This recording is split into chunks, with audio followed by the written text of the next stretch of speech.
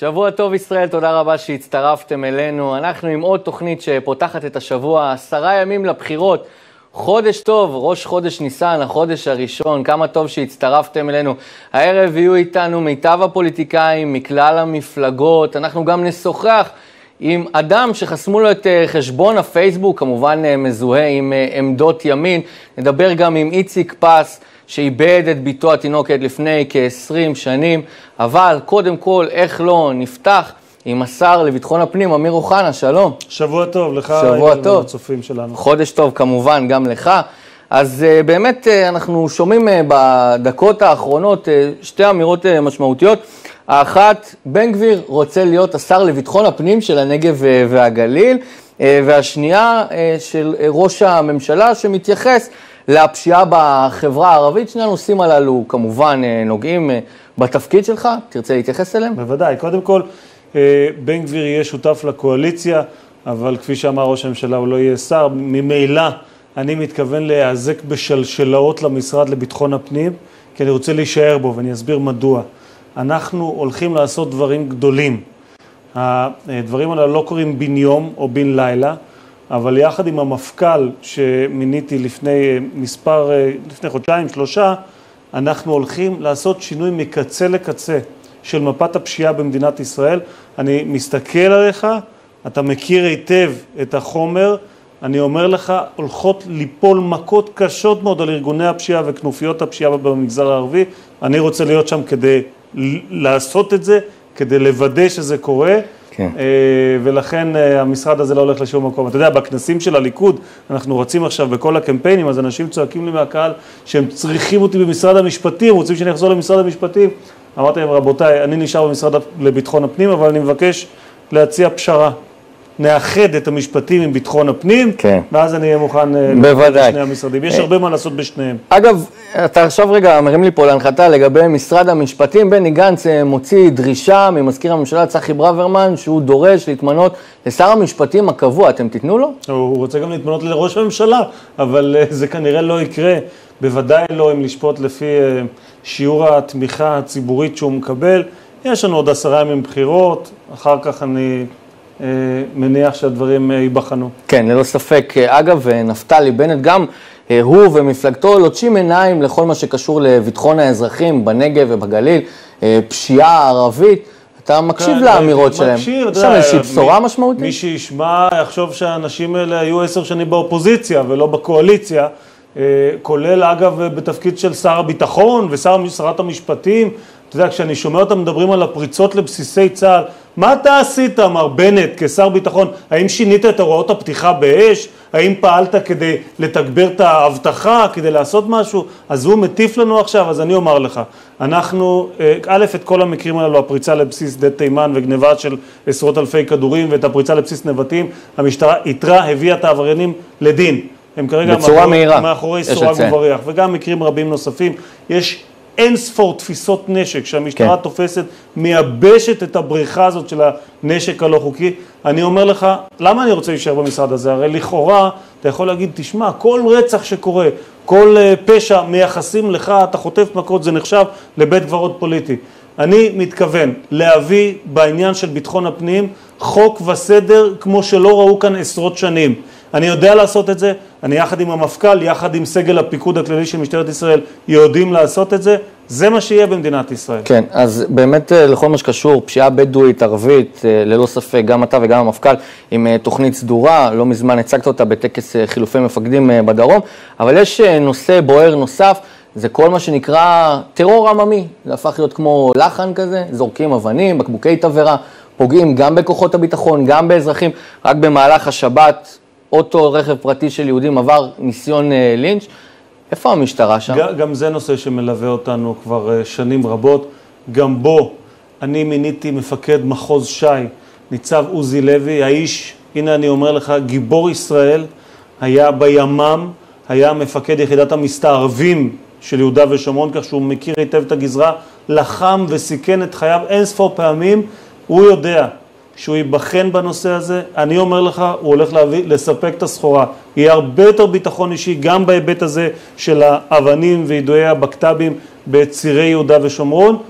הוא האיש, יחד שם, עם המפכ"ל. ויחד איתי. שם נבחן שינוי הוראות הפתיחה באש? שם, תראה, הוראות... מה שבסמכותך, כמובן בסמכות המשטרה. הוראות הפתיחה באש נקבעות על ידי הדרג המשפטי.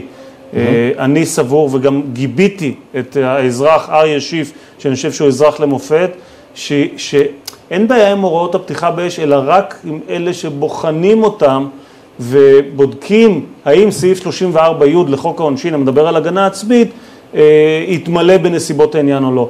ואני סבור שצריך לאפשר יותר, גם לאזרחים, גם לחיילים, לא, לא לסרס אותם. אה, עוד, עוד בפרשת אלאור עזריה, כן, שגם אותו גיביתי אז כחבר ועדת החוץ והביטחון, אה, אמרתי, אנחנו צועדים למסלול מסוכן מאוד, שבמסגרתו הרוח של צה"ל, מהרוח שאפיינה אותו כבר הרבה שנים של חתירה למגע ויוזמה והתקפיות, עלולה להגיע למצב של קיפאון, חידלון ובריחה. אני אומר, אוי ואבוי אם אנחנו נגיע לשם. אנחנו צריכים להחזיר את הרוח ההתקפית ולקחת בחשבון שכשחיילים פועלים, חיילים או שוטרים או אזרחים פועלים להגנה עצמית על, על חייהם או על רכושם, אנחנו צריכים לגבות אותם, כל עוד הם לא פשעו בצורה, אתה יודע, בלתי סבירה באופן קיצוני, וזה לא, לא המקרה של אריה שיף. כן, אה, עוד אה, משהו, נעבור קצת לנושא הפוליטי. אה, ראש הממשלה אומר שיוסי כהן מסיים את תפקידו ראש המוסד בחודש יוני, והוא ישמח לראות אותו משתלב בליכוד. אתה בעד? יוסי כהן עושה עבודה מצוינת כראש המוסד.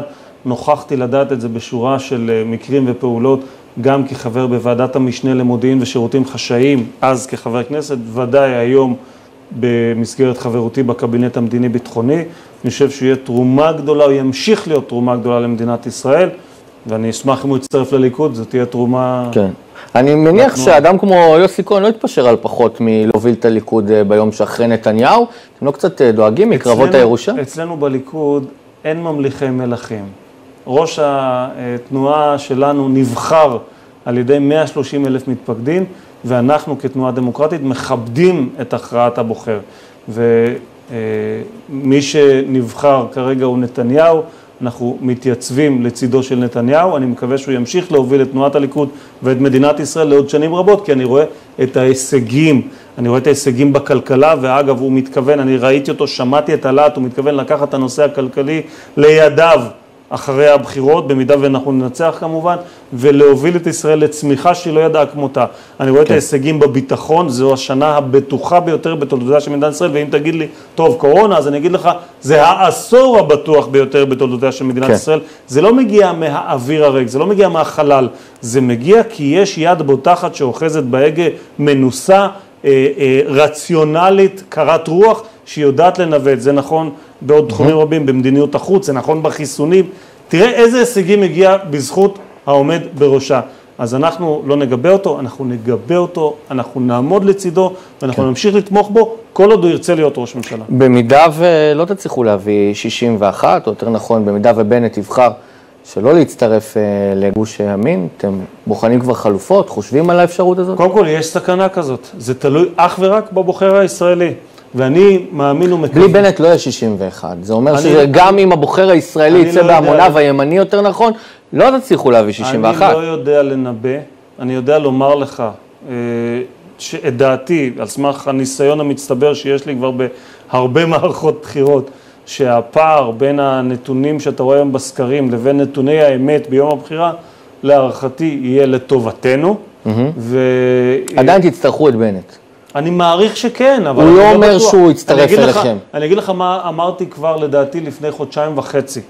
אמרתי שגם בנט וגם גדעון סער יהיו על מספר חד ספרתי, וזה היה עוד כשהסקרים ניבאו 20, אפילו 20 וכמה מנדטים, ואמרו גדעון סער נושף בעורפו של נתניהו. אמרתי חכו חכו, זה מפלגת האולפנים. כן. אולי יש לו טורנדו בפה, יכול כשזה. יגיע לשטח, כן. אנחנו נראה תוצאות אחרות. אני חושב שהליכוד יפתיע עם מספר גדול.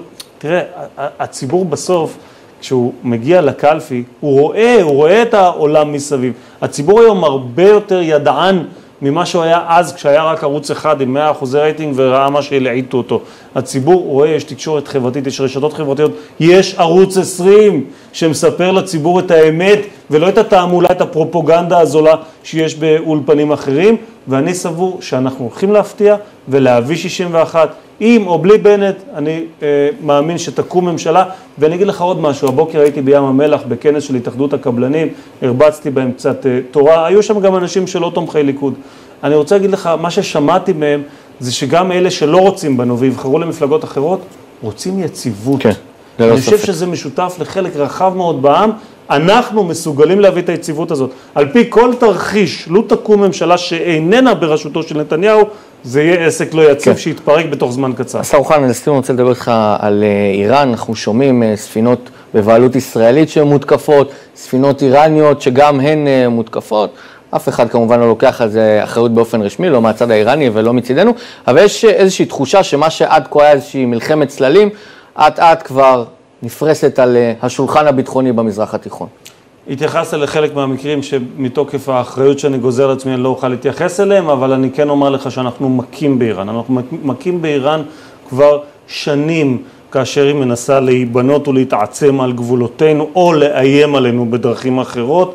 אנחנו נמשיך לעשות זאת כדי להגן על אזרחי ישראל, ואני... עד כמה מכה גלויה כזאת קרובה לפתחנו? אני אה, לא מתייחס למכות גלויות או סמויות ספציפיות, למעט אלה כמובן שישראל לא, אבל אם הם לקחה יהיו על עליהן- סף פצצה, כנראה שאנחנו נזדקק לעשות זאת. למעט אלה שישראל לקחה עליהן אחריות פומבית. אני אומר לך, ואני תאמין לי, נמצא קרוב לראש הממשלה, אני שומע אותו, אם נתניהו ימשיך להיות ראש הממשלה, לאיראן לא תהיה פצצה גרעינית, נקודה. שר אמיר אוחנה, תודה רבה ששוחחת איתנו. תודה לב. שיהיה שבוע טוב וחודש טוב. שבוע טוב תודה וחודש רבה. טוב. אנחנו uh, ממשיכים כאן uh, את השידור שלנו, שבוע טוב uh, ישראל, uh, וכמובן, כפי שאמרנו, גם בהמשך יהיה איתנו uh, חגי אוזן, אמן uh, ויוצר ישראלי, שחשבון הפייסבוק שלו נחסם בגלל שהוא כתב איזושהי מילה אחת uh, שאינה במקום. גם איציק פס, אביה של שלהבת פס, כמובן, גם הוא יהיה איתנו בהמשך, לאחר שאיבד את אה, בתו התינוקת לפני כ-20 שנה בחברון, לאחר שנפגעה מצלף אה, מחבל שפגע בה. אה, בהמשך תהיה איתנו גם חברת הכנסת לשעבר שרן השכל, מתקווה חדשה, וגם חבר הכנסת משה אבוטבול יהיה איתנו מש"ס, שמחה רוטמן מהציונות הדתית. אבל קודם לכן, אנחנו רוצים להגיד שלום ושבוע טוב לחברת הכנסת מרב מיכאלי, יושבת ראש מפלגת העבודה. שלום ושבוע טוב ותתחדש, ברכות, כן. בהצלחה. תודה, תודה רבה. מעולה. אז uh, מאז שנבחרת לראשות uh, מפלגת העבודה, ממצב שהיא רחוקה מאחוז החסימה, יש אפילו סקרים שמעניקים לכם שבעה מנדטים. חד משמעית, אני מאוד מאוד שמחה וגאה ואני מאוד אה, מרוצה שאתה יודע, כשנאבקתי על מפלגת העבודה כל כך, אז הלכתי, הייתי הולכת ברחוב ואנשים היו אומרים לי, את לא תצליחי, אבל הלוואי שתצליחי, הלוואי שתצליחי. יש כמיהה אדירה בציבור הישראלי, ולא רק בציבור שפעם מפלגת העבודה הייתה הבית שלו, אלא בכלל, לפוליטיקה של אמת, למקום שאתה יודע שהוא באמת עובד בשבילך, למנהיגות שאת יודעת שאכפת לה ממך באמת. והיום מפלגת העבודה מייצגת את הדבר הזה.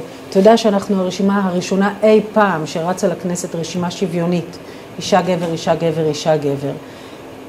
באמת מדברות על הדברים החשובים למדינת ישראל. כן, אז uh, באמת, אנחנו רואים שיש איזשהו תרחיש אה, סביר שמפלגת העבודה תהיה חלק אה, מהקואליציה בכנסת ה-24. ככה, בכזאת קלות, אתה בטוח כן. שנתניהו לא יהיה ראש ממשלה? אני עדיין לא בטוח בזה, אבל כאשר יש אה, התאגדות של אה, כלל מפלגות ואין יותר אה, ימין אה, ושמאל, יש אז ימין אה, ושמאל. יש ימין ושמאל, אבל היום הוא לא מהווה את החלק מהגושים, ובדיוק אה, את כאן אה, מרימה לי להנחתה לשאלה הבאה, איך באמת את ואנשים כמו נפתלי בנט, אביגדור ליברמן, גדעון סער, אנשי ימין מובהק, שבעבר אפילו קראתם להם ימין קיצוני, תשבו סביב אותה, אותו שולחן ממשלה ותנהלו מדינה. אה, זה אכן אתגר, אבל קודם כל האתגר הוא שיהיו 61 מנדטים לבלוק. במידה ויהיו, עושה רושם של מפלגת לא. העבודה, כרגע אין איזה שהן אה, דרישות קואליציוניות, אפילו קווים אדומים מלבד רק לא נתניהו. לא, לא, לא, לא. בוודאי שמפלגת העבודה יש לה היום יותר מאי פעם ערכים מאוד ברורים. דווקא היום מפלגת העבודה, אתה רואה, הנה, הרמת לי בחזרה. אה, כי כל כך הרבה אומרים, אתם אומרים רק לא ביבי, רק לא, רק לא מה, תגידו מה כן. ומפלגת העבודה היום אומרת בצורה מאוד מפורשת מה כן. ואומרת, אה, אה, שלושה יסודות בשביל הדבר הזה שלו, הציונות.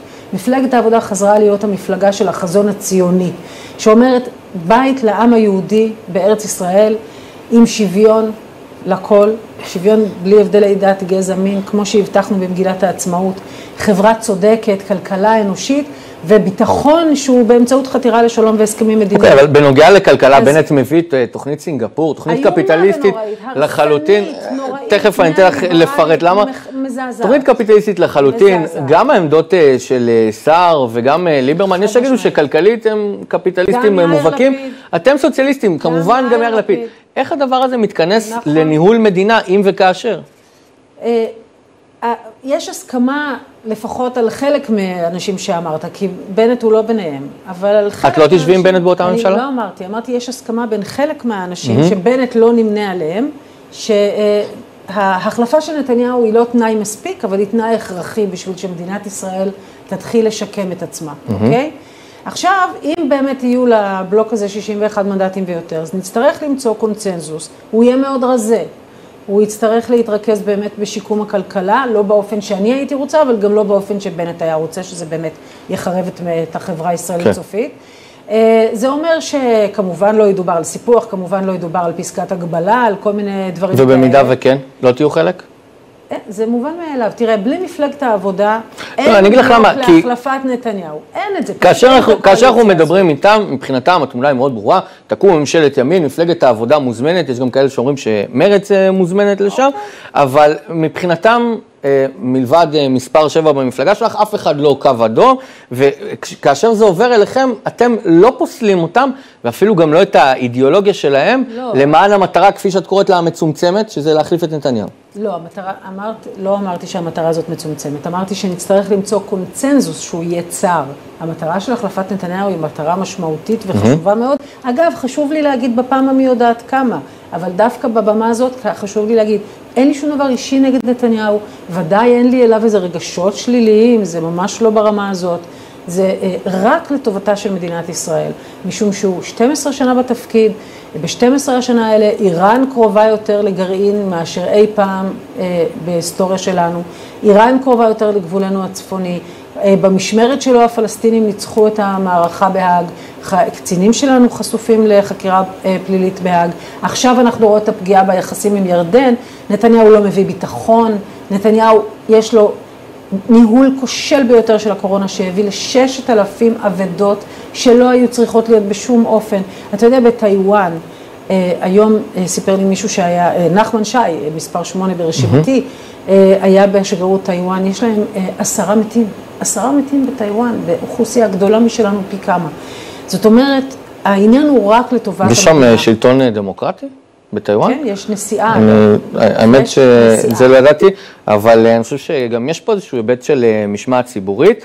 אה, חשוב לי לשאול אותך, כן. והמשמעת הציבורית לא הייתה, משום שלא היה אמון בשלטון. כן. משום שהיה ברור שהניהול הוא לא ענייני, לא מקצועי, לא לטובת העניין, רק מאינטרסים, רק מפוליטיקה. אז ב, אני מזכירה לך שבסבב הראשון הציבור היה צייתן בצורה בלתי רגילה. אבל כן. כשהוא ראה שדברים מתנהלים לא כמו שצריך, חברת הכנסת מיכאלי, האם הרשימה המשותפת בעינייך היא שותפה לגיטימית לשיתוף פעולה בקואליציה, לא מבחוץ, שותפה לגיטימית. הרשימה המשותפת על כלל המפלגות שמרכיבות אותה. אני לא מחרימה אף אה, מפלגה במדינת ישראל, לא מחרימה גם אף ציבור. גם לא את מחרימה- הציונות הדתית, בן גביר, סמוטריץ', בן גביר אני מחרימה אותו לחלוטין. מפלגת העבודה לא תשב עם בן גביר. היבה ממש יזבק. למשל.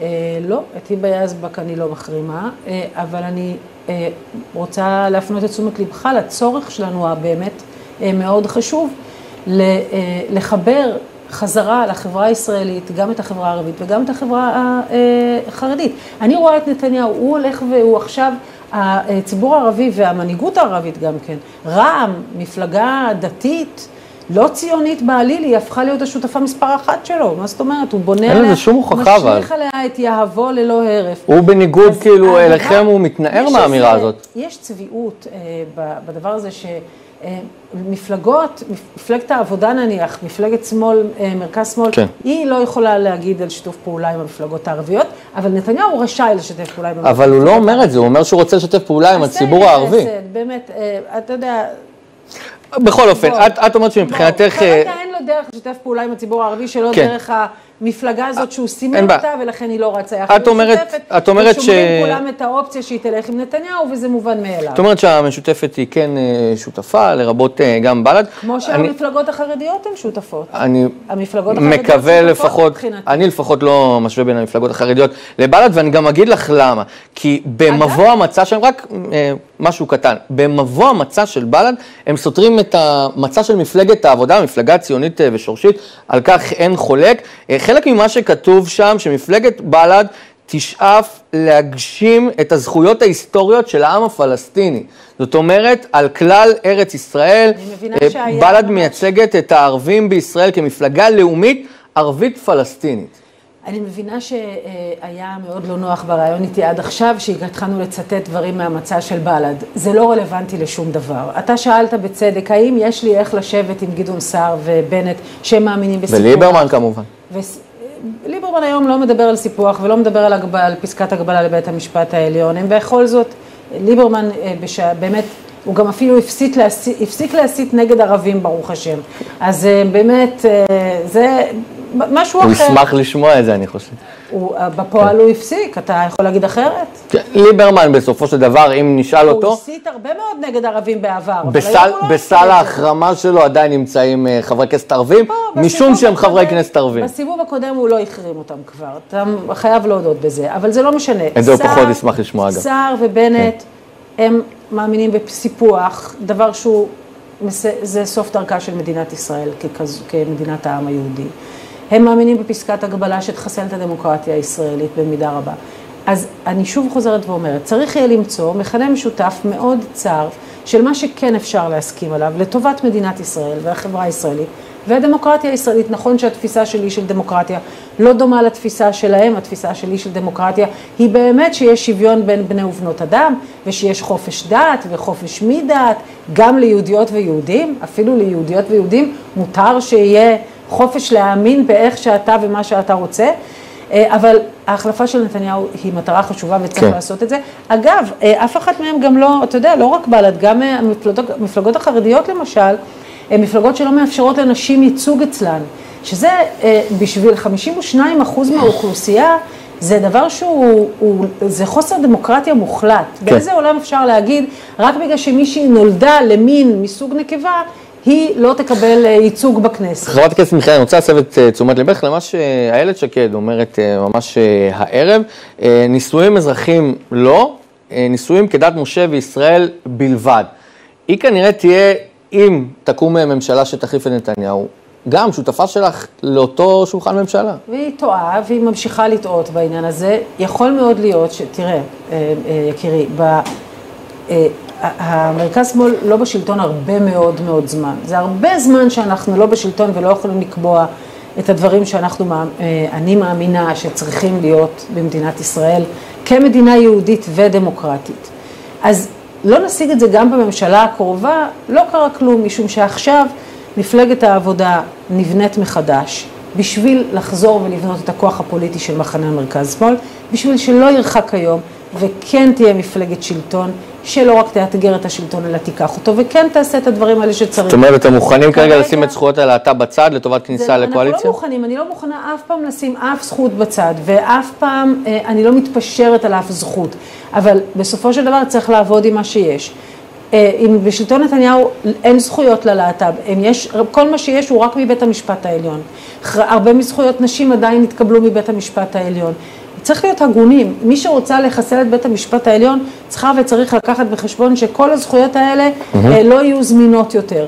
לא רק כן. זה, גם אגב, לאנשים שמקבלים הבטחת הכנסה, בית המשפט העליון נתן זכויות. יש אה, חשיבות מאוד גדולה כל זמן, בוודאי, בוודאי, בוודאי, אה, שכל זמן שהדרך היחידה לקבל אה, זכויות אדם היא לא דרך ממשלות כן. נתניהו והימין, אלא דרך בית המשפט העליון, מאוד להיזהר במה שרוצים, אלה שרוצים להגביל אותו. אה, בשלטון נתניהו הזכויות האלה לא, מתבק... לא מתקבלות. כן. אז קודם כל בואו נחליף את נתניהו, ובין אז נרכיב את הממשלה. חשוב לי, שתיתן את כל הזכויות האלה. הבנתי שיש לך, דרך הבנתי שיש לך לו"ז עמוס הערב, אני רוצה להספיק איתך עוד אה, שאלה כן, אבל אחת. מצד שני חשוב לי להיות כאן ולדבר. תודה. רבה. חשוב לי להספיק איתך עוד אה, שאלה אחת. יש אה, ארבע מפלגות כבר שהצהירו שהן רוצות אה, לעמוד אה, בראשות הממשלה, אה, ולכל הפחות גם תהיה איזושהי רוטציה אה, מרובעת. הם לא יתפשרו על תיק ביטחון, אוצר, אה, חוץ, כמובן אני מדבר על אה, יש עתיד, תקווה חדשה, אה, ימינה וישראל אה, ביתנו. ואיפשהו נדמה שאת מפלגת העבודה לוקחים כמובן, אה, מאליה, שהיא תיכנס אה, לאותה קואליציה. יש איזשהו דרישות סף לרבות תפקיד, שאם לא תקבלו אותו אתם תגידו אנחנו בחוץ? אני לא עושה משא ומתן היפותטי עם אה, תוצאות שאין אותן. משהו שחשוב לכם, תחום לי מסוים. חשוב, אה, לי, א', חשובים לי כל התחומים וכל הזכויות. יש את הדברים, באמת, אתה יודע, אני מוצאת את עצמי בעמדה שאני יושבת ראש המפלגה היחידה שהוציאה הודעת גינוי בנושא התחקיר המזעזע שראינו על אה, מעשים מיניים של, אה, לפי החשד, של יהודה משי זהב. כמובן על פי החשד. כמובן, אבל הוא, ואני אה, אגב חושבת שטוב עשה שוויתר על פרס ישראל והשעה את עצמו מרשות זק"א, אבל מקל וחומר אתה מבין שאם אני יושבת ראש היחידה שטרחה לגנות את המעשים האלה ובאמת לוודא שהוא לא יקבל פרס ישראל כל זמן שהעניין הזה לא יתברר, שיש דברים שאין אף אחד יש משרד מהיו"רים שתילחמי לעמוד בראשו? כל המשרדים הם חשובים בעיניי, כל המשרדים יש לי תוכניות בשבילם, ומכל אחד מהמשרדים אפשר לשרת את הערכים שאני מאמינה בהם. אבל, כאמור, בגדול זה צריך להיעשות כשאנחנו הופכים כבר להיות, לא בבחירות הקרובות, אבל לא יותר מדי עוד הרבה זמן, מפלגת השלטון שעושה את זה, ובינתיים צריך יהיה להתרכז בהחלפת נתניהו על בסיס הסכמות מצומצמות. אני מאמינה שהמאבק באלימות כלפי נשים, יהיה צריך להיות ברור לכולם שהוא חלק מהם. אה, אני מאוד מקווה שברור לכולם שמאבק באלימות מינית הוא חלק מהדברים האלה. על פניו כולם תמיד אומרים זה לא פוליטי, זה לא פוליטי, נכון? ללא ספק, אני חושב שכל. המפלגות אה, זה משהו שהן אה, מתנגדות לו. מה דעתך על כן. ממשלה שוויונית, כמו הרשימה שאני עשיתי במפלגת העבודה? אישה אני- גבר, אישה גבר, אישה אני, גבר. אם, אם עכשיו את אה, מפנה אליי את השאלה, אני חושב שנשים וגברים הם שווים מבחינת הזכויות האזרחיות שלהם, אם כי שונים, ואני חושב, אני חושב שבניגוד להרבה נשים, שמנסות אה, לתקן את זה באמצעות אה, חקיקה ונהלים, שיש מספיק נשים חזקות, את אה, ביניהן, שהצליחו להגיע לתפקידים משמעותיים בזכות עצמן, ובלי שאף אחד הכריח אותם בראשות מפלגת העבודה, אף אחד לא הכריח שתהיה אישה, ושרת התחבורה שלנו, ועם איילת שקד שבעבר הייתה ראש מפלגה, כן. וחגית משה שעמדה בראש הבית היהודי, נשיאת אנחנו- בית המשפט העליון, יש הרבה נשים בתפקידים משמעותיים בזכות עצמן, הלוואי שיהיו יותר, שיהיו אנשים טובים יותר, בני אדם, זכרים ונקבות כאחד. חברת הכנסת מרב מיכאלי, שמחתי לראיין אותך, שיהיה שבוע טוב וחודש טוב. שבוע נהדר. עוד עשרה ימים זה נגמר. ניסן, כן. חודש הגאולה, כן. חבל על הזמן, יש למה לצפות. חד וחלק. שיהיה גם חג שמח אם לא נדבר עד אז. תודה רבה לך. שמח. ואנחנו עכשיו יוצאים להפסקת פרסומות קצרה, מיד לאחריה חבר הכנסת משה אבוטבול יהיה כאן ועוד הרבה דברים טובים ומשמעותיים. אל תלכו לשום מקום.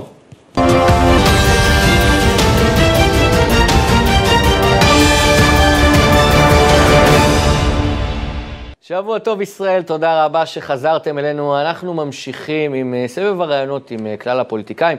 עשרה ימים אה, לבחירות, שלום ושבוע טוב לרב, חבר הכנסת משה אבוטבול.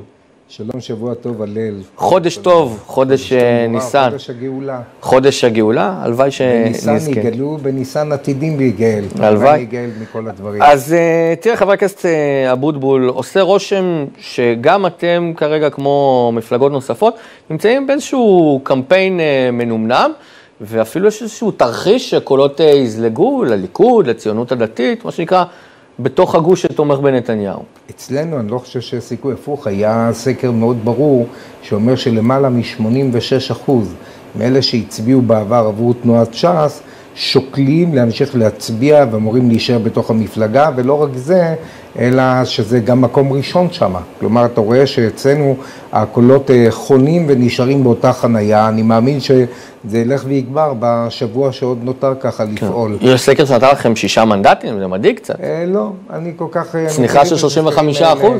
כן, אבל אתה רואה שהוא בודד בתוך כל הסקרים, כי הסקרים הרלוונטיים נותנים לנו שמונה, יש כאלה תשעה, והיה גם פעם אחת שנתן עשרה, כך שאני חושב שבעזרת השם, אתה יכול גם להקליט אותי וזה מוקלט, שתנועת ש"ס תביא עשרה מנדטים ואילך. כן, אז אה, יש אה, עניין שש"ס תמיד היה אה, נר לרגליה מבחינת המצב, הדברים שהיא מקדמת, זה העניין החברתי. לאחרונה הוא קצת אה, נהדר, כבר אנחנו לא רואים את קמפיין השקופים, אנחנו לא רואים כל מיני אמירות אה, לחיזוק אה, חברתי. אנחנו ש"ס, תבחרו בנו, אה, נתניהו צריך אריה חזק לידו. תראה, אה, ידידי, אולי בניגוד לאמירות שהן פחות רלוונטיות, אנחנו רואים את זה במעשים בשטח. כשאתה בא ורואה שהשר היחידי שרץ ומתרוצץ כדי לחלק 700 מיליון שקלים לאותן משפחות מוחלשות, שצריכות לקבל את זה לתוך הבית עם שליחים מיוחדים, ואם את זה עד לבית, את התלושי מזון נאבק מול בתי המשפט, מול כולם, אין לך חברתי יותר מזה. ושאר הדברים, גם בתקופת הקורונה, המאבקים שלו בשביל בעלי העסקים, בשביל האולמות, בשביל כל דבר ודבר הוא נאבק. אפשר לומר, הוא השר היחידי שבאמת אה, גם באמצע קם ופוצץ ישיבת ממשלה, כשראה שלא מקשיבים, ואמר, אם לא מקשיבים אין לי מה לחפש פה במקום. ואתה רואה שלאורך כל הדרך הוא מייצג את אותם חלשים, אם זה הנחה לכל אותם בעלי עסקים שלא ישלמו ארנונה בתקופה הזאת, זה, זה בעצם לא רק, איך שאומרים, להגיד אמירות חברתיות, זה לעשות את זה גם כשר פנים, גם כשר פריפריה הגליל, וגם כן אותנו הנחה, את החברי כנסת בכל ועדות הכנסת, אתה שומע אותנו, אני בוועדת העבודה והרווחה והבריאות שם נלחם אתה יכול לשאול גם כן את חבר הכנסת חיים כהן, מי שנמצא באופן מתמיד. ועדת הקורונה עם גברת שאשא ביטון, גם שם נאבקתי, נלחמתי למען אותם תלמידים שיצאו כבר uh, מהזום וייכנסו כבר ללימודים uh, קלאסיים. בכל מקום ומקום עשינו את המאבקים שלנו, ואני מאוד שמח שאנחנו כן. גם כן מקבלים מחמאות. Uh, חבר הכנסת אבוטבול, בעבר uh, רוב כמעט uh, מוחלט של הרבנים uh, מעדות המזרח הלכו אה, ותמכו בש"ס אה, באופן אה, מובהק. בתקופה האחרונה ראינו את הרב מזוז, תומך בבן גביר. אני אישית ראיינתי את הרב עמר, שסירב להגיד בפומבי שהוא תומך בש"ס. יכול להיות שמאז מותו של מרן, ש"ס פחות קונצנזוס סביב כל מה שקשור לעולם התורני הספרדי? חס ושלום, זה הולך וגובר.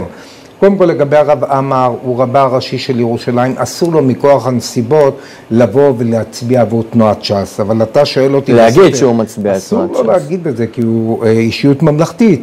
אני מכיר את האיסור הזה על הרב הראשי לישראל. ודאי, זה גם על רבנים ראשיים בכל עיר ועיר, אסור להם להתבטא. אבל אם תבוא איתו לקלפי בסתר, אם היה מותר לבוא, אני מבטיח לך שאין לו משהו אחר להצביע. מה עם הרב מזוז שתומך בבן גביר? לגבי הרב מזוז, אה, לא שמענו תמיכה שלו מובהקת בבן גביר. אה, לתת אמירות של סימפתיה זה נחמד, אבל לא ראיתי מכתב שלו שאומר לתמוך בבן גביר. הפוך, מתוך התלמידים של הרב מזוז ישנם חמישה מטות של מנהלי תלמודי תורה שלו, של הרב מזוז עצמו, שהם עובדים יום ולילה למען תנועת ש"ס, וזה אומר דורשני. אם הוא היה מתנגד חלילה לתנועת ש"ס, היה אומר להם קאט. תעצרו מלעזור, הם עובדים בצורה נמרצת, אתה יודע מה, בצורה מאוד מאוד מפתיעה, הולכים מבית לבית, תלמידיו של הרב מזוז. הוא עצמו, ישנו קושי מסוים אה, שהוא ייצור עכשיו קשר ויאמר אני בעד ש"ס, אני מבין את זה, היה מה שהיה בזמנו עם אלי ישי וכולי, אבל באופן עקרוני אתה רואה את התלמידים שלו, כולם אהובים, כולם ברוכים, באים ותומכים בנושא הזה, אין רבנים שהם באים מקרב במגזר העדות, בני עדות ספרד, שבאים ואומרים לא. רבי אריה דרעי, יושב ראש הסיעה, יושב ראש התנועה, הלך וקירב את כולם, יצר קונצנזוס סביב הנושא הזה של תנועת ש"ס, אדרבה, אני אשמח לשמוע שם מפורסם וידוע שאומר לו להצביע ש"ס. כולם אומרים להצביע ש"ס, החל כן. מהרבנים של בית משפחת אבוחצירא, והחל מהרבנים שנמצאים, ראשי הישיבות, אפילו כאלה שהיו בעבר מזוהים עם הציבור האשכנזי, משכו את ידיהם ותומכים בתנועת ש"ס באופן מלא. אה, הרב אה, אבוטבול, אני רוצה לנצל את זה שאתה כאן ולדבר איתך על אה, פגיעה בזהות היהודית של מדינת ישראל. לאחרונה שתי פסיקות יחסית משמעותיות, שכמובן אה, פוגעים במה שמכונה אה, השורשיות היהודית במדינה, בג"ץ החמץ ובג"ץ הגיור הרפורמי. כמובן שגיניתם את העניין, אבל לא ראינו את הציבור שלכם יוצא, מפגין, או אתכם מתייחסים לזה בחומרה, שאני חושב שהיה מתבקש ממפלגה כמוכם. אני אה, ראשית אה, באופן אישי, אה, היה לי רעיון ועימות אישי עם ניצן הורוביץ באחד הרשתות, תקפתי אותו בצורה הברורה ביותר. אני חושב שכל חברי הכנסת שלנו והשרים, כולל יושב ראש התנועה, תקפו את בג"ץ בצורה נחרצת בנושא הזה. אני חושב שבג"ץ, לצערי, מנותק. באופן טוטאלי מכל מה שקשור לזיק של תורה, יהדות, מצוות. הוא לרגע חושב בג"ץ שהוא נמצא בניו יורק או בפריז, הוא לא מבין שהוא נמצא במדינה יהודית, וזה חמור ביותר. כי לאט לאט בג"ץ מוכיח לנו כמה שהוא מנסה לנתק את המדינה שלנו, שהיא מדינה יהודית במהותה. בואו נחשוב לרגע, הרי גם בן גוריון בהצהרה שלו שאמר, אנו באים להקים כאן מדינה יהודית, במה אנחנו יהודים?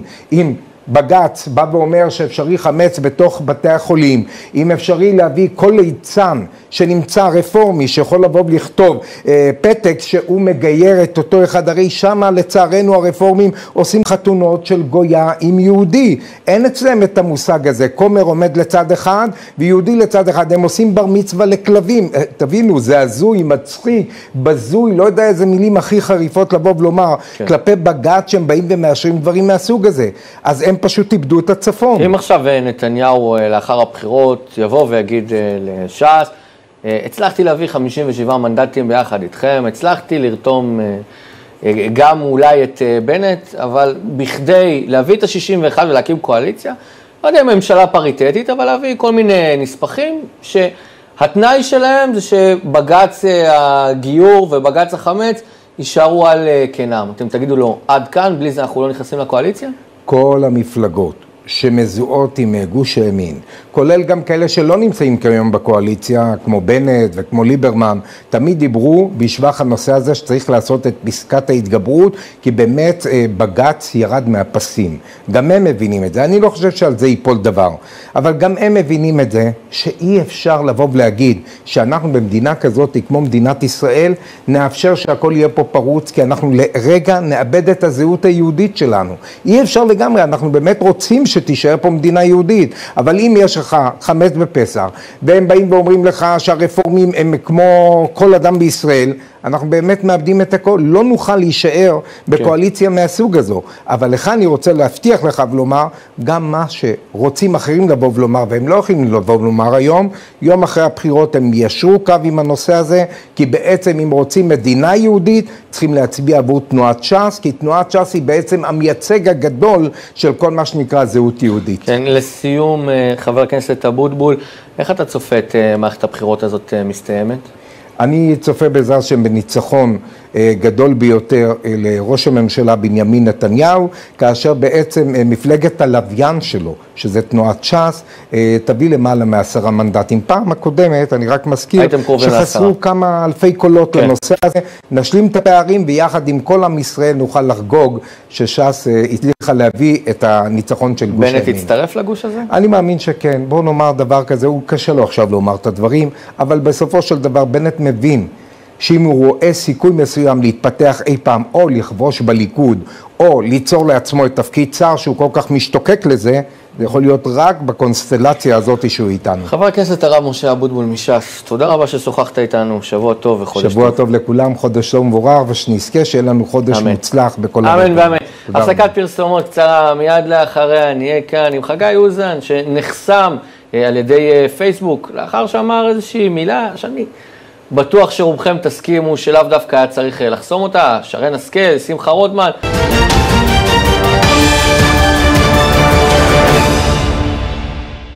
שבוע טוב ישראל, תודה רבה שחזרתם אלינו. אנחנו כאן עדיין אה, באולפן, ועכשיו אנחנו מצרפים אלינו את אה, מעיין סמון, יועץ אסטרטגי ופוליטי. שבוע טוב. שבוע טוב וחודש טוב, אז בואו באמת נתחיל. עשרה ימים אה, לבחירות, אה, תמונת מצב אה, בגושי כן נתניהו ולא נתניהו. אני אחלק את זה אחרת, ברשותך. השיח הקובע והמכריע בישראל הוא על שני גושים, ואני חולק עליו. אנחנו נמצאים בבחירות של שלושה גושים. אחד, נתניהו, חרדים, סמוטריץ' ייכנס. אגב, סמוטריץ' הוא שחקן מפתח. גוש מרכז, כחול לבן, שוב, שחקן מפתח מאוד מכריע. אם ייכנסו, בנט, ליברמן אה, ויאיר לפיד אה, לכאן או לכאן. וגוש השמאל, אה, מפלגה, מפלגות ערביות, אה, מרצ אם ייכנסו, ויאיר לפיד. אלה שלושת הגושים. אז בסופו של דבר, אם אנחנו מדברים על אותו גוש שהוא מתנגד להמשך שלטונו של נתניהו, שכרגע לפחות על פי הסקרים, באופן יציב הוא גדול יותר, מה באמת ה... הסיכוי שאחת מהמפלגות שם לא תעבור את אחוז החסימה? ואם כן, מי? תראה, לפני כחודש ההימור היה בין מפלגת העבודה לבין מרץ, שאחת מהם לא תעבור. כרגע מרץ לא עוברת, מספרים שאני יודע, הם עובדים על 2.6, שזה די נמוך. אני לא רואה איך הם אה, משיגים את, ה, את, ה, את הפער הזה, ושחקנית המפתח בכל הבחירות האלה היא כחול לבן, בהמשך להסכם הקואליציוני, זאת אומרת, אם כחול לבן נכנסת, נתניהו בעיה חמורה מאוד, באופן כללי, גם אם הוא מצליח להרכיב אה, ממשלה אה, שקורעת בין 60 ל-61, ואם לא, המשחק נפתח לחלוטין, זאת אומרת שאם אחת מהמפלגות האלה לא, לא, לא נכנסות, בעיקר כחול לבן, גוש הימין מתחזק מאוד גם מבחינת מפת המנדטים וגם מבחינת חופש הפעולה שלו. כן, אבל אחד הדברים אולי המסקרנים אה, ביותר, אה, זה נפתלי בנט, ומה הוא ירצה לעשות. כרגע הוא לא חלק אה, מגוש הימין, לפחות הוא לא מצהיר על כך. נפתלי בנט התחפש ליאיר, ליאיר לפיד, הוא לא מדבר. הוא מדבר רק מה שנוח לו, הוא לא מדבר על האידיאולוגיה. אגב, האידיאולוגיה נעלמה ממערכת הבחירות הזו, אנחנו נמצאים במערכת בחירות שהיא חסרת אידיאולוגיה לחלוטין. היחידות שהן אידיאולוגיות זה מרץ והמפלגה של סמוטריץ', ששניהן מתנדדות אה, אבל, אבל בנט, אה, עד שלא יאמר אחרת, הרבה סוברים שהוא מעדיף ללכת עם גוש להחלפת נתניהו, במידה ויהיה להם 61 מנדטים. זה בדיוק המשחק של נפתלי בנט. הוא אומר, אני לא אדבר, כל אחד ישלים בראש שלו, מה הוא, מה הוא רוצה שאני אגיד. אה, זה שרוצה להחליף את נתניהו יגיד, אוקיי, הוא איתי, הוא בסדר. זה שרוצה את נתניהו יגיד, בטוח הוא יגיע אלינו, נכון? בנט משחק פה משחק די חכם אה, מבחינת, אה, מבחינת טקטיק, אבל זה, זו הנקודה. נפתלי בנט משחק באופן מובהק ותמידי לאורך כל מערכות הבחירות שלו, הוא לא משחק אסטרטגיה, הוא משחק טקטי. לכן הוא מפסיד פעם אחר פעם, ולכן הוא לא מממש את הפוטנציאל שיש במפלגה הזאת. כי הוא משחק רק טקטי, הוא לא חושב כמה צעדים קדימה. אם אנחנו באמת עכשיו מנסים רגע להבין אה, מה קורה במפלגת הליכוד, יש ביקורת מאוד גדולה לנתניהו, שהוא למעשה אה, מדיר את השרים ואת אה, חברי הכנסת, ושוב הוא נוקט בגישה של אני ואני יצליח להביא עוד אה, ניצחון. מה הסיבה לכך? קודם כל, גם השרים וגם חברי הכנסת שמדברים בשקט כרגע, אה, ואומרים זאת, הם, יודע, הם יודעים ש, ו, ויודעות, בהמשך למרב מיכאלי, אה, שמי שיביא אותם לכנסת או לממשלה זה בנימין נתניהו. מצד שני, לכל אלה שטוענים שבנט יהיה במפלגת, בממשלת ימין של נתניהו, אני לא רואה את זה קורה. כן. לא בגלל בנט, בגלל הליכוד. מאיר, אני רוצה לצרף אלינו עכשיו את uh, חגי אוזן, מלחין, יוצר, כותב, שחשבון הפייסבוק שלו נחסם בגלל איזושהי מילה שהוא הגיב, ולא בפעם הראשונה. בואו נראה מה יש לו להגיד לנו. שבוע טוב, חגי. שבוע טוב ומבורך, אהלן אהלן, מה העניינים? בסדר, ברוך השם, אז ספר לנו למה שוב חשבון הפייסבוק שלך נחסם, הפעם ל-30 ימים. הפעם ל-30 ימים, ובאמת שהפעם הייתי הכי רגוע בעולם, אה, מי שמכיר אותי יודע את אה, חרצובות לשוני, אלא שהפעם, בסך הכל כיניתי, כיניתי את, ה, כיניתי את הפלסטינים אה, פלינסטונס, זה כל הסיפור, וזה הספיק כדי אה, אה, לסגור לי את החשבון ל-30 יום, בגלל, אה, בשל קללה על רקע אה, גזעני. קראתי לפלסטינים פלינסטונס, וזה הספיק, וזה הספיק. זאת אומרת, אה, פייסבוק שלחה לך הודעה לאחר התגובה הזאת שהחשבון שלך פשוט נחסם. כן, כמובן שאני ערערתי, ותוך דקות אחדות חזרו אליי שבדקו את הנושא ועדיין הם בשלהם. בדיקה, בדיקה מהירה, בדיקה מהירה אה, ללא ספק. מאוד מאוד מהירה, כן. כן. אסור לפגוע בפלינסטונס חס וחלילה, זה, יש גזע כזה שנקרא פלינסטונס, אה, גזע חכם הרע. אגב, מה שהכי אבסורדי זה לקרוא לי גזען, שאני בעצם לא מכיר בהם כגזע בכלל, אבל מי, מי שמגדיר אותם כ-so called פלסטינים זה השמאל, או מי שזה לא יהיה, הם מגדירים אותם כגזע. הבנו, הבנו, חגי, שזאת לא פעם ראשונה שנחסמת, על מה נחסמת בעבר?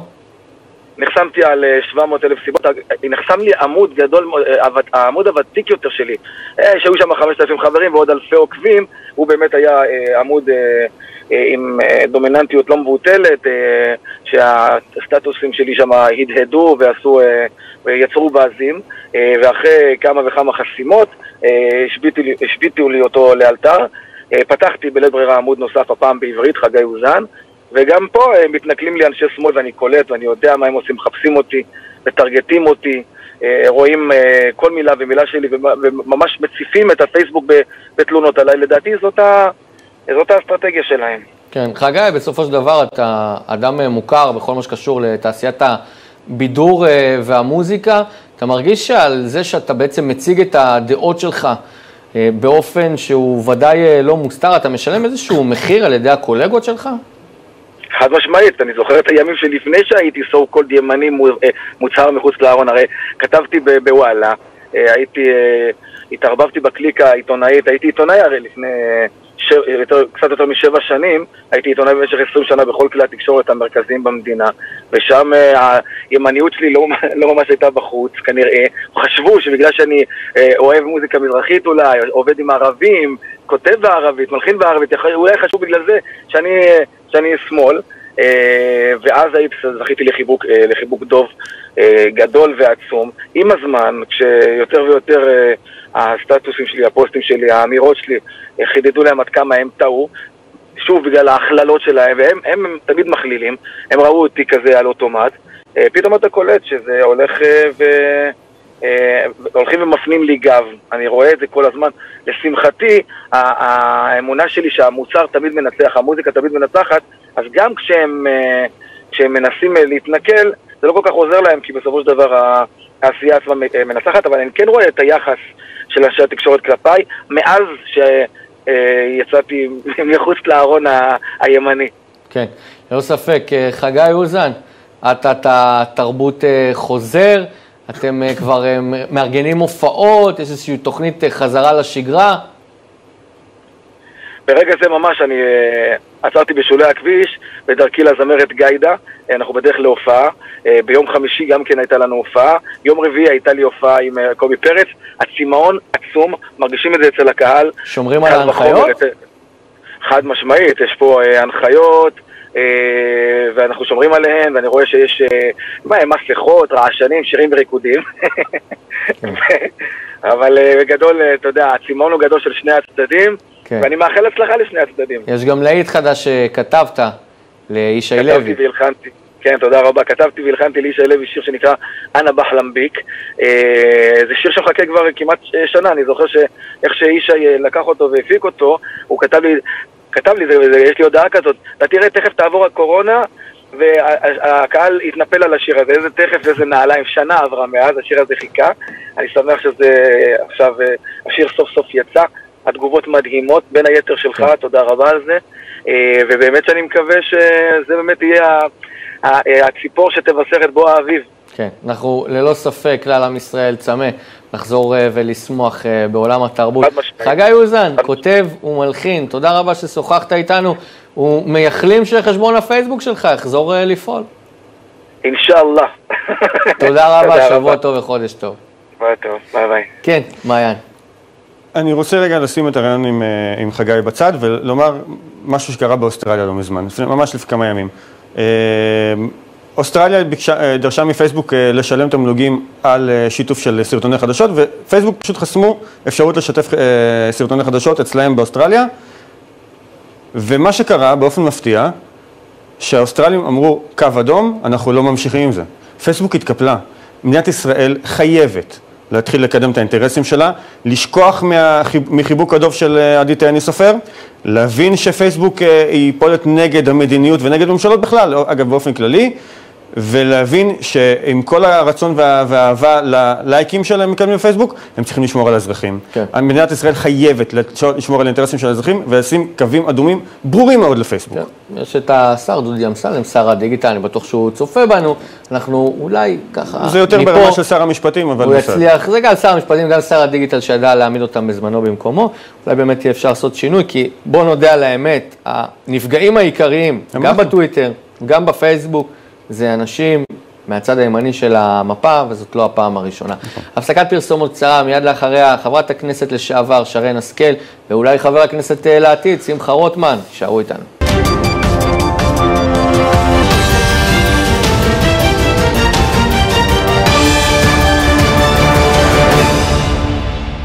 שבוע טוב ישראל, תודה רבה שחזרתם אלינו, מיד יהיו איתנו גם שמחה רוטמן וגם אה, שרן השכל. קודם לכן, אה, מעיין, אני רוצה לחזור אליך. אה, המזרח התיכון מבעבע, גם השר אוחנה קודם התייחס לזה, תן לנו תמונת מצב. תראה, המפתח למזרח התיכון כרגע היא מדיניות של ג'ו ביידן הברית, בנפרד לפקידי הממשל שם, שזה משהו שחשוב להבין. לפני כמה ימים פורסם דוח אה, על פרשת רצח עיתונאי אה, על ידי אה, אה, יורש העצר, הנסיך הסעודי אה, ושר ההגנה, אה, אה, מוחמד בן סלמן. זה דוח שיצא כבר לפני כמה וכמה חודשים, תחת ממשל טראמפ, טראמפ עצר את הפרסום שלו. ג'ו ביידן בהבטחת בחירות הבטיח שהוא יפרסם את הדוח הזה והוא אכן פרסם אותו. להערכתי ג'ו ביידן מבין את מה שהוא לא ראה מבחוץ. סעודיה וישראל הם שחקניות מפתח אה, בכל האסטרטגיות של המזרח התיכון והמפרץ הפרסי והעולם הערבי בכלל. אה, והממשל ביידן, מה שעושה כרגע, הוא למעשה לוקח את כל מה שטראמפ עשה, מכמת, זורק הצידה, ואומר בואו נתחיל מחדש. פקידי הממשל שמבינים שמה שנעשה גם תחת ממשל טראמפ, עם כל הכבוד, חלקו היה נכון לפחות. זה תקף אגב גם לגבי אה, הסכם הגרעין, שכרגע הקולות אומרים בואו נדבר, נתקדם, ובמקרה הטוב אנחנו נחזור להסכם הגרעין המקורי. עכשיו, אי אפשר לחזור להסכם הגרעין המקורי, המקורי כי בינתיים איראן לא רק שמעשירה צנטריפוגות ומחביאה אותה מתחת לאדמה, אלא גם אומר, גם צוברת ידע. ידע אי אפשר לקחת אחורה. בהגדרה אי אפשר לחזור אחורה להסכם הגרעין המקורי. עכשיו, אם, בואו נחזור רגע אה, לביידן ולסעודיה. ג'ו ביידן מקדם ביד אחת מדיניות בדלנית בתוך ארה"ב, אה, התמקדות מאוד אה, אובססיבית ממש בקורונה עצמה ובכלכלה, ובצד שני הוא מבין שיש לו אינטרסים לקדם, למשל אה, הפסקת הלחימה בתימן, ההתעצמות האיראנית, הוא צריך את סעודיה.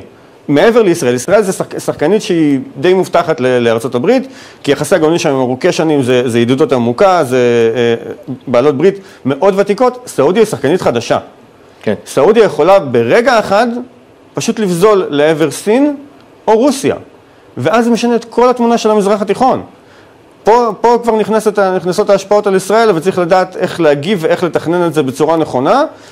ואני מאוד מקווה שישראל תדע להתמודד עם זה. כן, בסופו של דבר אנחנו רואים שכבר זה, זאת לא אה, מלחמת אה, צללים, אנחנו רואים פה אה, מלחמה שאט אט עולה מעל אה, לפני השטח, תקיפות של אה, ספינות, ועל פי מה שאומרים אה, מומחים בביטחון עולמי, כי אי אפשר להתייחס אה, למה שאומרים אה, כאן אה, נכון. במדינת ישראל, לא רחוק היום שאנחנו נראה כבר עימות והתנגשות חזיתית. קודם כל, עימותים והתנגשויות חזיתיות קיימות כבר היום, כמובן אה, אה, לפי פרסומים זרים.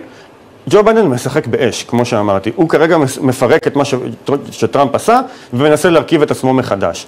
זה לא, כרגע זה לא הולך. כרגע אנחנו חוזרים למדיניות של אה, ברק אובמה, שיצרה פשוט מערב פרוע במזרח התיכון, איש הישר בעיניו יעשה. מדינת ישראל צריכה להגן על עצמה. איראן רוצה לקדם את האינטרסים שלה. ההתנגשות בדרך הזו היא בלתי נמנעת כמעט. כן. ללא ספק ההתנגשות אה, היא כמעט אה, בלתי נמנעת. יש לנו כבר את אה, איציק איתנו, איציק פס, אפשר לעבור אליו?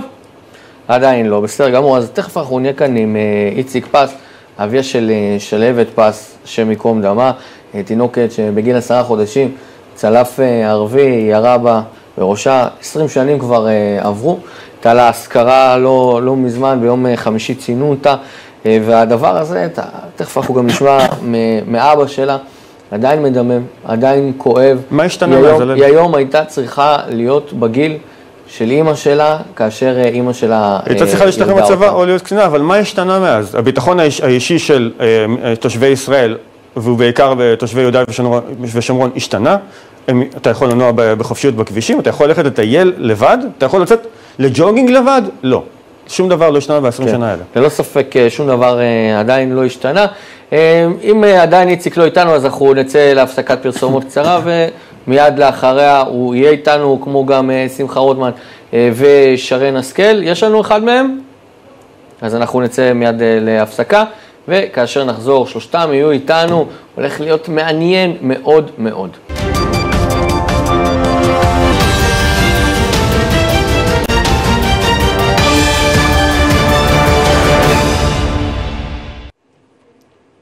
שבוע טוב ישראל, תודה רבה שחזרתם אלינו, וכמו שהבטחנו לכם מיד אה, לפני הפסקת הפרסומות, אנחנו עכשיו מצרפים אלינו את אה, איציק פס, אביה של אה, שלהבת פס, השם ייקום דמה, שנרצחה בפיגוע בחברון לפני כ-20 שנה בדיוק. איציק, שבוע טוב וחודש טוב. שבוע טוב הלל, לך, לכל הצופים, מאזינים. כן, אז 20 שנה עברו, והפצע עדיין לא הגליד. 20 שנה זה נראה הרבה זמן, אבל uh, אתה יודע שהכל צף, uh, לי זה מרגיש כאילו זה היה ממש uh, לפני זמן קצר, ולמרות כל השנים וכל מה שעברנו זה כל כך uh, חקוק בי וכל כך uh, חלק מהותי ממני, שזה ממש מרגיש לי כאילו זה היה אתמול. כן. איציק, למי ששכח את האירוע, בוא ספר לנו, אתה היית עם שלוות באותן דקות איומות. אנחנו היינו זוג צעיר אה, שגרנו בחברון, אני ואוריה אשתי. שלבת הייתה בתנו היחידה, הבכורה והיחידה באותו זמן, אוריה הייתה אה, בהיריון מתקדם, והלכנו לבקר את ההורים של אוריה בשכונת אברהם אבינו. כאשר בפתח השכונה אני אה, לקחתי את העגלה של שלבת, הייתה תינוקת בת עשרה חודשים, הרגשתי לפתע כאב ברגל, וככה שהורדתי את המבט ראיתי שפגע בי כדור, ירדה מהמכנסיים היו קרועות, ונשכבתי מאחורי עמדה סמוכה ממוגנת ירי, ואוריה אשתי באה לקחת את שלבת מהעגלה, גם לתפוס מחסה, ופתאום אה, היא קלטה בעצם שהסיפור הקשה זה לא אני, זה שלבת, אה, היא קיבלה אה, מאותו כדור, הכדור עבר אה, דרכי ופגע לה בראש, ולא היה מה לעשות לצערנו. כן, ומאז אה, אותו אירוע, וגם כמובן הסערה הציבורית שהייתה, בעקבותיו. ספר לנו קצת על ההנצחה של שלוות, השם ייקום דמה. אז קודם כל, אה, אולי הדבר הראשוני והבסיסי והמשפחתי מבחינתנו היה שמיד לאחר השבעה עברנו לגור ממש אה, בסמוך למקום הרצח. מבחינה אישית לי היה מאוד קשה להישאר בדירה שגרנו בה והחלטנו ככה לעבור ממש סמוך למקום הרצח מתוך תפיסה ש... המחבלים, הרוצחים האלה מנסים לעקור אותנו מהאדמה שלנו ואנחנו להפך צריכים אה, להתחבר יותר ולהעמיק אה, בשורשים ולא לא לתת להם את לנצח. אה, לאחר מכן גם כתבנו ספר תורה לעילוי נשמת שלוות, שמה שהיה מיוחד בו שבאמת פנינו לציבור והמון אנשים תמכו, רצינו שזה משהו של באמת עם ישראל כולו, כי שלבת, למרות שהיא הייתה הבת הפרטית שלנו, אה, אני מרגיש שהיא הייתה הבת של עם ישראל, וקיבלנו, אין לך מושג כמה אלפי ויותר אפילו תגובות מכל העולם, אנשים שכאב להם העניין הזה והתחברו ורצו להיות שייכים. אז היה חשוב לנו באמת משהו שיבטא את, אה, את, כל, את כל עם ישראל. הקמנו גם אה, בית מדרש לעילוי נשמת שלבת, גם סמוך, בשמת אברהם אבינו, סמוך למקום הרצח. של באמת אה, גם להתחבר דרך הצד הרוחני לעם ישראל ולארץ ישראל, אה, ומבחינה אישית, אה, ברוך השם, יש לנו כיום חמישה ילדים שנולדו אחרי שלבת, לא זכו להכיר אותה, אבל הסיפור והדמות וכל מה שקרה זה חלק מההוויה המשפחתית שלנו בכללה. כן. איציק פס, אביה של שלבת פס, השם ייקום דמה, תודה רבה ששוחחת איתנו וגם לאחר אה, שני עשורים אנחנו מוסרים את אה, תנחומינו ומשתתפים בצער שלעולם, לעולם לא יהיה קל יותר. תודה רבה. לא יהיה קל יותר. תודה ושבוע טוב. מעיין, אז אנחנו באמת אה, שומעים את זה, אתה דיברת על העניין הזה, שלמעשה שום דבר לא השתנה מאז, למה התכוונת? תראה, הביטחון האישי של תושבי מדינת ישראל כמעט ולא קיים, לא של המגזר הערבי והפלסטינים. אמ, אני רוצה לקחת את זה לנקודה אחרת. אני לוקח את האירוע של אה, שלוות פס, זיכרונה לברכה, וזה התחבר לי פשוט לשיחה שערכתי עם אחיין שלי אתמול. אה, הוא התגייס לצה"ל לאחרונה, ורק אתמול הוא נחשף ללינץ' ברמאללה. הוא הזדעזע כמובן, כן נשמתו, מה שאותי הפתיע זה שהוא ילד בן 18, אוקיי, בסדר, אה, הוא נולד שלוש שנים לאחר הלינץ' ברמאללה. במדינת ישראל אירועים כאלה הם טראומות, אבל הם נקודת זמן שאנחנו זוכרים חלקנו וחלקנו לא. בכל חברה מתוקנת זה אמור להיות נקודת, נקודת שיא של לימודים בבית, בבתי הספר, של זיכרון לאומי. זה, אנחנו חייבים למצוא דרך לשפר את הדבר הזה ולנסות אולי דרך זה למנוע מצבים נוספים שכאלה, כן. כי מדינת ישראל חוותה עשרות ומאות טראומות שכאלה. כן, יכול להיות שגם יש פה איזשהו היעדר, אה, בעצם העשרת התלמידים במערכת בדיוק. החינוך. שאולי אה, כחלק אה, מלימודי המורשת וההיסטוריה גם צריך להכניס דברים שקרו רק לאחרונה. אני אפתיע אותך יותר מזה. אה, בכובעי אחר אני גם מרצה, מרצה לדיפלומטיה ציבורית, ובאחת ההרצאות שלי עמדתי מול תלמידי כיתות ט', ואמרתי את השם רון ארד, שאצלי זה, זה, אתה יודע, אצל כל כן. אזרח ישראלי אמור להיות אה, מוכר, והם הביטו בבעיני עגל, הם פשוט לא ידעו מי זה. כן. כיתה שלמה, אף אחד לא ידע מי זה. כן, ללא ספק, כיתה שלמה לא ידעה מי זה. אה, וכעת אנחנו מצרפים אלינו את אה, חברת הכנסת אה, לשעבר מרשימת תקווה חדשה, שרן השכל, שלום. ערב טוב, חודש טוב. אז באמת, שרן, אנחנו עשרה ימים לבחירות, ועושה רושם שגם אתם, כמו הרבה מפלגות מגוש רק לא נתניהו, למעשה נשענים על קמפיין שברובו מדבר על אנחנו נחליף את אה, נתניהו, אבל אין איזושהי אמירה אידיאולוגית או ערכית מסוימת. בואי תעשי לנו סדר, מה תקווה חדשה מציעה שהיא מלבד אה, החלפת אה, בנימין נתניהו?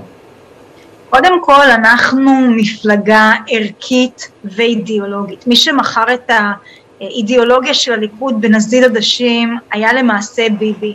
הרי הוא הבטיח לנו בבחירות הקודמות ריבונות, הוא אפילו נקב בתאריך הראשון ליולי וכאשר הוא ידע שהוא פשוט שיקר בנוגע לדבר הזה. הוא הבטיח לנו רפורמה במערכת המשפט והוא מינה יום לאחר מכן את אבי ניסנקורן אה, כשר משפטים, ככה שהוא ידע שהוא שיקר בקשר להבטחת הבחירות הזאת. הוא הבטיח שהוא יעביר תקציב של מדינה בתקופת משבר והוא פשוט שיקר.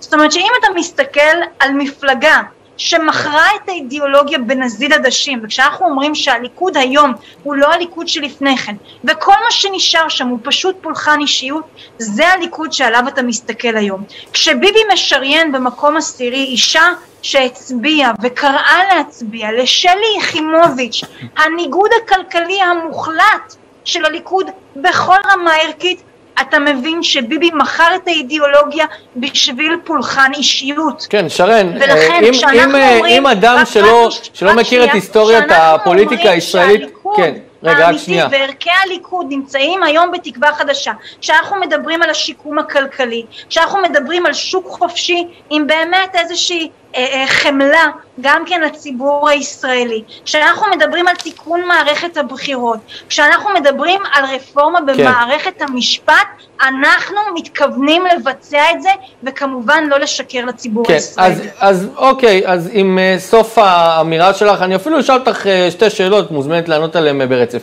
אחד, מי שלא מכיר את הפוליטיקה הישראלית והיה עכשיו צופה ברעיון, היה חושב שאת מעולם לא היית בליכוד ולא ישבת תחת uh, שלטונו של בנימין נתניהו עד לא מזמן, וצידדת בו והגנת עליו, מדוע אז לא אמרת שהוא uh, משקר והוא לא מנהיג את המדינה uh, כראוי? ושתיים, מדברת פה על תיקון במערכת המשפט ועל אידיאולוגיה ימנית ברורה, גם כלכלית וגם מדינית. עם מי בדיוק אתם מתכוונים לקדם את זה? עם uh, העבודה? עם מרץ? עם יאיר לפיד? לא, קודם כל ברור שממשלת השמאל שביבי הקים אה, ממש לפני כמה חודשים. הממשלה בראשות גדעון סער תהיה ממשלה הרבה יותר טובה, הרבה יותר... שרן השכל, את היית חלק מממשלת השמאל הזאת שאת אומרת שנתניהו, רגע, הלל, מדוע לא קמת ועזבת? אתה שאלת שאלות, כשלוש שאלות, אז תן לי בבקשה גם את ההזדמנות לענות על שלושת השאלות האלה בלי לקטוע אותי. בסדר אוקיי? גמור. אז זו השאלה, לשאלתך הראשונה, עם מי נרכיב קואליציה? בטח ובטח שלא נרכיב את אותה ממשלת שמאל שביבי הקים, שהוא מינה את אבי ניסנקורן, את עמיר פרץ, את בני גנץ, לכל התפקידים, את uh, גבי אשכנזי שהתהדר בכך שהוא ביטל ריבונות. אז תאמין לי שהממשלה שלנו תהיה ממשלה ערכית, מוסרית, שתעמוד על פי קווי היסוד שלנו. עכשיו, אה, לשאלתך האחרת בנוגע לליכוד, כן, אה, אני הייתי בליכוד, אה, וגם עם כל הכבוד לביבי, באמת יש זכויות רבות על העשייה שלו למען מדינת ישראל. אבל אתה מבין שבשנתיים האחרונות אותו הביבי שאתה מכיר הוא לא הביבי שאתה רואה היום. נשאר צל מאותו אדם אז למה היית חלק מהמפלגה שלו עד שגדעון סער הקים מפלגה? אני מסבירה לך, הלל. כי אני כבר לפני שנה וחצי זיהיתי את הדבר הזה. אה, למה לא קמת ועזבת? לא, אני אמרתי את זה, אז אל תטעה בבקשה את הצופים, אני מבקשת. אני לפני שנה וחצי כשהבנתי שלמעשה ביבי לא מסוגל לנצח את הבחירות ולמעשה עלול לגרור אותנו ואת הימין למקום מאוד מסוכן, אני החלטתי לתמוך בגדעון סער בבחירות לראשות המפלגה ואמרתי את זה בצורה מאוד ברורה לכל מצביעי הימין. אמרתי להם שזו מחובתי האידיאולוגית כאשת ימין להזהיר לפני שאנחנו מידרדרים. עכשיו, תקשיב, כשכל, כשהתנועה שלנו הייתה דמוקרטית וכאשר התקבלו עמדות שונות, אז יש לך אפשרות לשנות מבפנים, אבל כשאתה רואה שדורסים כל עמדה אחרת, שכל מה שהוא מדד להצלחה הוא בעצם פולחן אישיות, כשאתה רואה קווים אדומים שנחצים כמו לשקר למצביעי הליכוד, לשקר בקשר לריבונות, לשקר בקשר למערכת המשפט, לשקר בקשר לתקציב מדינה, אתה מבין שנחצה פה קו אדום שאיתו אני לא יכולתי להשלים יותר. כן, שרן השכל, את אומרת שאני הטעיתי את הציבור, אבל לצערי את כרגע... במועמדותו אה, לראשות ממשלת מדינת ישראל. שרן השכל, את כרגע, את אמרת שאני הטעיתי את הציבור, לא הבנתי איך, זה שאת אה, תמכת בגדעון סער, כמו גם אה, מיכל שיר, זה ידוע, אף אחד לא טען אחרת, אבל הטענה היא שגם את, כמו גדעון, וכמו מיכל, וכמו זאב אלקין, רגע, ברשותך, אני לא הפרעתי, אני רק רוצה לשאול אותך שאלה. את כמו שלושת חברייך שהיום בתקווה חדשה והיו לשעבר בליכוד, עד ימים ספורים לפני שגדעון הקים את uh, המפלגה שלו, תקווה חדשה, התרוצצתם באולפנים, הגנתם על נתניהו, וטענתם שהוא האדם המתאים ביותר להוביל את מדינת ישראל. הלל, האם שיקרתם? הלל, אז, אז, אז פה בדיוק העניין שאתה טועה ואתה מטעה את הציבור. תלך חזרה לראיונות שהיו לי, וגם כששאלו אותי, אה, למה אתם לא מעבירים תקציב, הרי ביבי החליט לא להעביר תקציב, אני אמרתי בצורה מאוד ברורה, אני חושבת שצריך להעביר תקציב, שזו טובת המדינה, וכששאלו אותי זה בניגוד לעמדת המפלגה? שלך, אמרתי כן, אבל זה מה שנכון למדינת ישראל. כשאל תגיד שאני התרוצצתי מאולפן לאולפן כשאתה לא מכיר את הראיונות שאותם אני עשיתי. ביבי חצה את הגבול. כשביבי הקים את ממשלת השמאל הזו, אני אמרתי בכל אולפן שהסיבה היחידה שבגללה אני מוכנה לבלוע את הצפרדע הזו, וצפרדע קשה של הקמת ממשלת שמאל, היא כי ביבי הבטיח לי שבראשון ליולי יהיה מהלך היסטורי של ריבונות במדינת ישראל. אני אמרתי בכל אולפן, והתרוצצתי מאולפן לאולפן, ואמרתי שאין זכות קיום לממשלה הזו, אלא אם כן נעשה את המהלך ההיסטורי הזה, שיש לו הזדמנות חד פעמית. לצערי ביבי שיקר לי, ממשל טראמפ התחלף ופספסנו את ההזדמנות ההיסטורית הזו של כי זו תהיה בכייה לדורות. רגע, את מדברת על החלת ריבונות. תדייק בבקשה בדברים שאתה okay. אומר, אוקיי. שאתה אומר שאני אז אני, אני אנסה לדייק. את כרגע בעד החלת אה, אה, ריבונות, כמו כלל תקווה חדשה, אמת? באמת, בוודאי. איך זה, איך זה מתכנס עם העובדה שבלי מפלגת העבודה, שהרגע מרב מיכאלי לפני שעה קלה אמרה שהיא מתנגדת נחרצות לכך ולא תשב בממשלה שתכיל ריבונות, וגם מרצ, שמפלגת שמאל, יש שיגידו שמאל קיצוני, הם השותפות הטבעיות שלכם להקמת ממשלה אותם אתם מבקשים. הם ממש לא השותפות הטבעיות שלנו, למה אתה מטעה?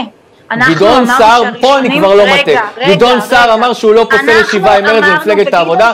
שרן השכל, תסלחי לי, אלה המילות של מי שעומד בראש המפלגה שלך. ראש המפלגה אמר בצורה מאוד ברורה שהראשונים שאנחנו נקרא להם לשבת מסביב לשולחן המשא ומתן כן. הם יאיר לפיד ובנט. ושהוא לא אוקיי? לא פוסל בשום תראה, צורה את העבודה ואת מרצ. גדעון סער אמר בדיוק בשבוע שעבר שמפלגת מרצ לא תשב איתנו בממשלה. אז בואו לא נשקר בבקשה. אחרי שהם ירדו מאחוז אוקיי? החסימה. ומה שבטוח מה שבטוח זה שביבי נעל אותנו עם הסכמים שלא מאפשרים ריבונות בארבע שנים הקרובות, הסכמי אברהם, שאותם אף אחד לא יוכל למעשה לשבור. ולכן הבטחות השווא האלו והשקר הזה שביבי למעשה אמר שהוא יחיל ריבונות ולמעשה התגאה יושב ביחד עם שני שותפים, בני גנץ וגבי אשכנזי, שמהללים את כך שהם מנעו ריבונות. זה השותפים שלו לממשלה, ואתה אומר לנו איזה שותפים יהיו לנו? לנו יהיו שותפים שאנחנו נוכל להקים ממשלה יציבה, שתשרת מדינת ישראל בארבע שנים הבאות, ותפסיק את סבבי הבחירות האלה. שרן השכל, איך עושים עם ממשלה יציבה. עם שלושה טוענים גדעון לכתר? סער הוא היחיד שמסוגל גם לפיד, גם סער וגם. בנט רוצים להיות ראשי ממשלה, איך עושים ממשלה יציבה כך?